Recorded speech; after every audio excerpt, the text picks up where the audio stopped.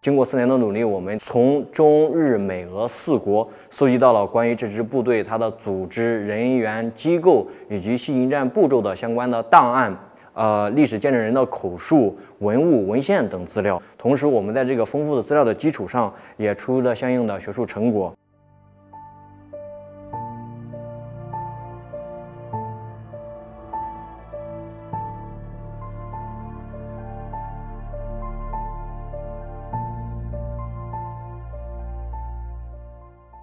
这个呢是有声啊，这个证言有不可篡改性。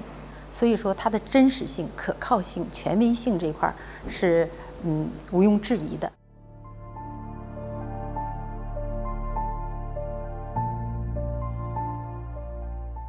試験の実施されたのは1944年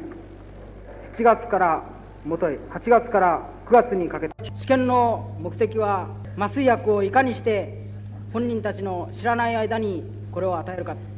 という点にあったというふうに実施された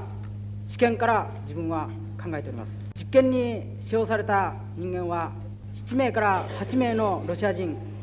および中国人であったとこれらの薬物はタバコあるいはスープからカーシャそれから鶏卵酒キャラメル等の食料に混じられてこれらの非実験者に与えられました。一人の人間に対しては約2週間にわたってこれらの毒物を混入した食料が5回ないし6回ぐらい与えられたと思います。